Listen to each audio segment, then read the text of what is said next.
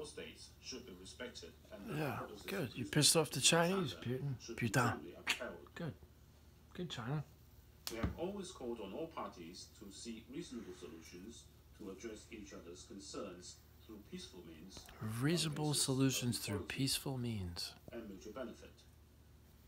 We welcome and encourage all efforts for a diplomatic solution, But we all know Chinese people are very smart.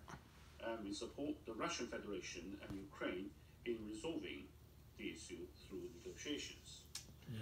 Well, you really shouldn't support the Security Council Russia and Ukraine for any reason because parties have fully it doesn't quite work. on their positions so nice on the current situation. But At present, faced with a highly complex and sensitive situation, the Security Council should make a necessary response.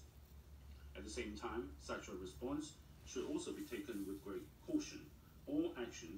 should be truly conducive